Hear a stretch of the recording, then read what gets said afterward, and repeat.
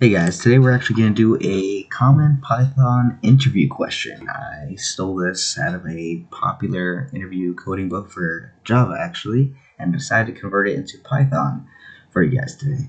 So, obviously the prompt here is in the multi-line comment. So I'm just break it down. Basically, if someone enters a string with repeated characters that are next to each other, it's going to just shorten it with the numeric the, the amount of times it repeats. But if it happens to be longer, we're just going to actually return the original string instead, which is actually quite rare. So let's get started. First, we need the string, right? So I'm just going to store that in a variable and get us to do that. Enter a string with repeated characters. And I'm just going to create a new line there. So then I'm going to do this in a function so then um, I'll call it just like that. So it's erroring because it doesn't exist. So I'm going to make it compress string and uh, give the line. Alright, so first things first, I want to be able to create the uh, the new um, string because we're going to have the original guy and then we're going to have the new guy. So I'm going to say the new string is going to be empty because we have we don't know what it's going to be yet. And then because we need to how many times each letter repeats next to each other, we're going to have to keep track of that. So I'm going to use that variable count to do that. And then I'm going to create a for loop that goes for as long as the original string was so that we can flip through each letter individually or each index. So Obviously, the first thing I want to do is be able to keep track of that second letter, the one that's next to it. Like if I have A, and other A, B is the third guy, right? So let's create, I don't know, J. But he has to be the guy next to him. So we'll do plus equals 1, which automatically adds 1 to the current total.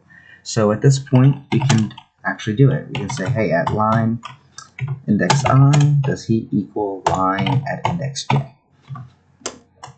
You know, if he does, we want to add to the count variable, and if he doesn't, we want to get the current letter to be added to that um, new string. Now we also need to keep track of the numeric count as well, but he's a number, so we have to convert to string. That's what str is in order to do that first. So at this point, this would error out because when we reach the last letter, J is always the one next to it, and that doesn't exist. So it would be like, ah, I can't find it, and it would error out like crazy. So we're going to fix that by putting an error exception around this, and that is called a try except inside of Python. So you just indent it, just like ifs and while loops and all that stuff, and you type except. You have to have an except with a try. There is no other way. So in the except, we know this is what's going to happen when it errors out. And when it errors out is when j can't reach the next index because i is the very last one. So at that point, we know there's nothing more to check. But we need to know if that letter was the same as the one before that, or if it's different, because we need to know if it gets a 1, because it would be a new guy, or if it gets whatever count was the last guy plus 1. So in order to do that, we are obviously going to have to write some code. So in here, we're going to say, hey, the last index of value i, right? That's what is important to us right now.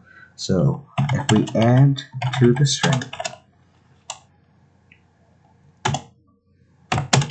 the current letter, right, or character, but we need to check the count number. We don't know if it's a new guy or not. So we're going to do an if else. Before we do that, we're going to reset our J guy, because I want to reuse a variable instead, just preference, and subtract one rather than adding one, because I want to go back one. We're checking for that count. So here we go. If the string at index j, it's kind of the same statement we did earlier. Oh, string at the line at index of, yep, you know, I wrote line. My bad. If you caught that, good job. And line at index j. So same thing as earlier. Now, if that is the case, we do want to attribute the current value of the count variable. If it's not, then we just want to add a 1 because it's a new character. It's different than the last ones. So at that point, we wouldn't be able to see anything because we never printed anything. So we are now going to return the information. But remember, we had to check the length, right? It says if the string is longer than the original string, then we will return him.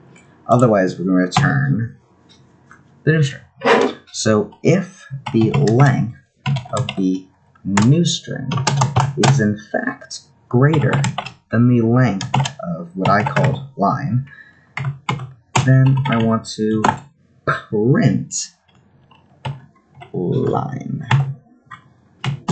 Otherwise, I will want to do the new compressed string because then it wasn't that shorter and it's worth my time.